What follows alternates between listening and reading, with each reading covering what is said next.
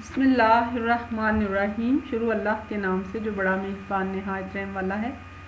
हम unit seven कर रहे हैं, प्रॉपर्टीज़ ऑफ़ मैटर, और आज हम उसमें करेंगे एयर प्रेशर। एयर प्रेशर को मैयर कैसे करते हैं, और how it affects weather. Measurement measurement of atmospheric pressure mercury barometer is used the instrument that measure atmospheric pressure is called barometer one of the simple barometer is mercury barometer it consist of one metre long tube and mercury trough mercury की एक tube होती है जिसके अंदर mercury होता है और एक ट्रफ होती है। और एटमॉस्फेरिक प्रेशर जो है ट्रफ के ऊपर एक्ट करता है और कॉलम को पुश करता है. At the sea level the height of mercury column above the mercury in the trough is 76 centimetre mercury trough से ऊपर मरकरी कॉलम 76 सेंटीमीटर होता है. हाई प्रेशर में कॉलम ऊपर चला जाता है और लो प्रेशर में कॉलम जो है वो नीचे आ जाता है. बैरो मीन्स वेट वज़न. A barometer works by measuring the amount of force exerted by the air molecule hitting a surface area barometer हवा के मॉलिक्यूल्स की ये फोर्स की पैमाइश करता है. It is measured in millibars millibars में मैयर किया जाता है. यूनिट्स uh, जो हैं मरकरी मिलीमीटर्स ऑफ़ मरकरी में seven sixty millimetre of mercury है one atmospheric pressure is equal to one hundred one thousand units of pascal और uh, अगर हमें uh, जो है स्पेसिफिक वेट ऑफ़ मरकरी जो है थर्टीन पॉइंट सिक्स है specific weight of water one है Thus, a glass tube more than 10 meter long is required to make water barometer. अगर हमें वाटर बैरोमीटर बनाना हो तो हमें 10 मीटर से ज़्यादा लंबी ट्यूब चाहिए होगी। प्यारे बच्चों, आपने देखा है कि बहुत सारे जो कानून हैं, उनमें वो तब्दील नहीं होते। इसी तरह अल्लाह ताला ने कुरान की में फरमाया, जिसने बनाए हैं सात आसमान ऊपर नीचे, तुम्हें रहमान के निज़ाम तकलीफ़ में कोई खलल नज़र नहीं आएगा। ज़रा फिर निगाह आकर देख, क्या तुझे खलल नज़र आता है? तो ये कुदरत की निशानियाँ हैं ये कानून बनाने वाला अल्लाह है। अल्लाह ने अपनी किताब भेजी है ताकि हम उसके ऊपर गौर व फ़िक्र करें। लेकिन अगर हम उसे समझ कर पढ़ेंगे तो फिर ही गौर व फ़िक्र कर सकेंगे। तो हमें चाहिए कि हम कुरान मजीद को तर्जमे के साथ पढ़ें।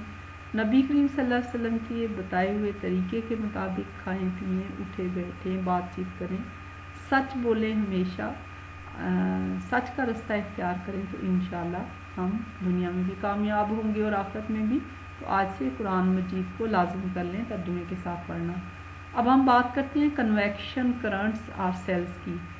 विंड हवा कैसे बनती है? Warm air rises because it is less dense cooler sinks because it is more dense this pattern is called convection cell. ठंडी हवा जो है वो उसका प्रेशर ज़्यादा होता है, गर्म हवा का कम होता है। गर्म हवा ऊपर उठती है और इसकी जगह लेने के लिए ठंडी हवा नीचे आती है, जिसकी वजह से कन्वेक्शन करंट बनते हैं। गर्म हवा ऊपर जाके ठंडी हो जाती है, बादल बन जाते हैं और फिर वो ठंडी होकर नीचे आती है और इस तरह से एक हवा का साइकिल बनता है। अब हम बात करते हैं एयर प्रेशर की। तो एयर प्रेशर एंड वेदर के उस, उसके लिए हमें एयर मैस समझना पड़ेगा। And air mass is a large body of air with similar temperature pressure and humidity levels throughout air mass हवा का एक बहुत बड़ा मरगोला जिसका दर्जा, हरारत प्रेशर और नमी का लेवल एक जैसा होता है, उसको एयर मैस कहते हैं। आमतौर पे चार टाइप के एयर मैस होते हैं maritime form over water and are moist वो पानी के ऊपर बनते हैं और उनमें नमी ज़्यादा होती है।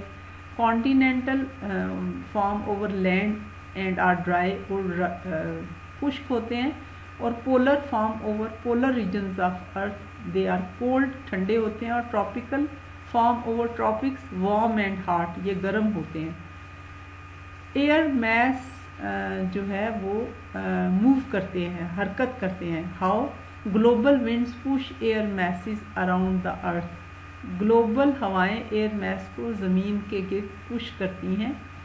अब हम देखते हैं कि what is air fronts air front is a place where two different air masses meet वो जगह जहाँ दो एयर मैस मिलते हैं फ्रंट कहलाती है।